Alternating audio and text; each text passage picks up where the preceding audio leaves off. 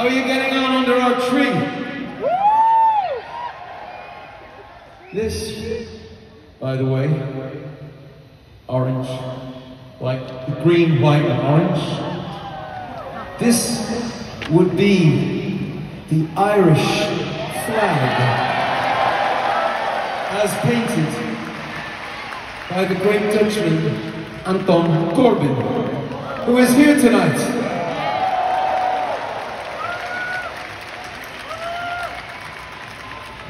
I wonder, I don't know what to say about Anton, because from the very beginning, he has found a way to say visually what we're trying to do with our sound, and uh, we love him. Uh, Larry, have you got uh, anything you want to, how would you describe Anton Corbijn?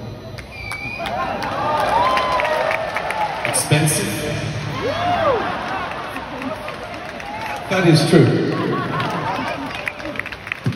But worth it? Always worth it. Edge, have you a word to describe or words to describe Anton Corbijn?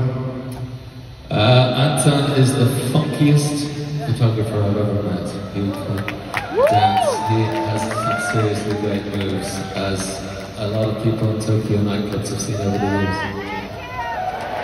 Anton, dancing man! Adam? He's a master, a Dutch master, and a great drummer. A Dutch master, says Adam Clayton.